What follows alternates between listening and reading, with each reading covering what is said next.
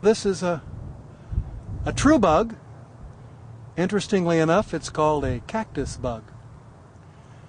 Bugs have no jaws, they have a modified mouth parts that are a beak.